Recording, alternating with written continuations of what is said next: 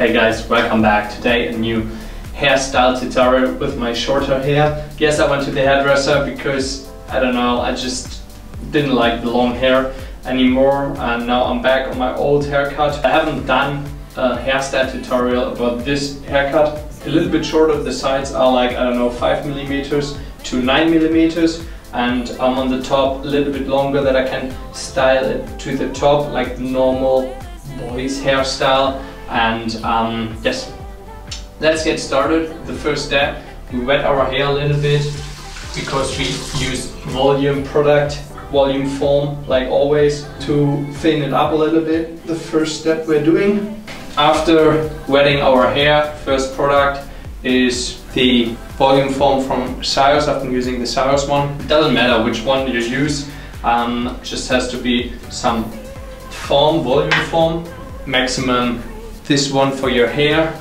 uh, because it gets like very hard later on.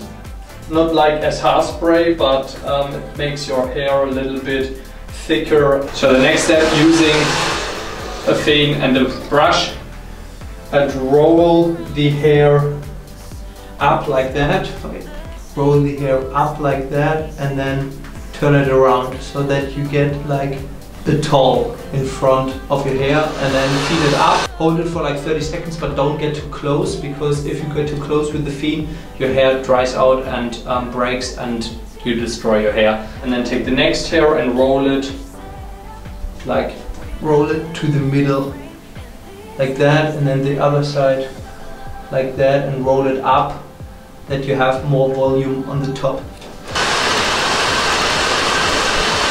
As you can see, my hair is going in that direction. It's completely normal. Every one of us has a direction the hair goes to. Um, this is my direction, so it doesn't make any sense to feed it in this direction. Um, I do it a little bit that the hair here goes up as well. A little wet on the on the back still, so I put away the brush and then just use my hand to dry everything. So, and now everything is dry, you can already see the hair is kind of like how I wanted to have it. I've been using some mud paste, it doesn't make any difference which mud paste it is. I uh, suggest you take the Got2b um, beach mat or um, what I've been using at the moment, the Forte series from my good friend Alex Costa, uh, who's king of hairstyle tutorials. Um, I will meet him soon in LA hopefully and uh, have a little look how he produces his hairstyle tutorials and hopefully one day I'll become as good as he is as my idol. Um, you just take a little bit in both hands and just rub it in in the whole hair, just mess it up a little bit.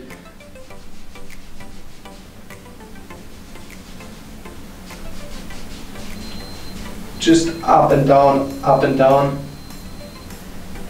And then tidy it up a little bit. And voila, here it is. The perfect hair. I don't use any hairspray because my hair gets too hard. I love the mud paste product because your hair doesn't get too dry but also doesn't get too wet. You have this cool look and your hair is very flexible still. After two hours you can still go through your hair and mess it up a little bit so really like that one. This is from front and yeah, hope you like the little hairstyle tutorial. Um, what should I do next? I don't know. I did pretty much everything, every length.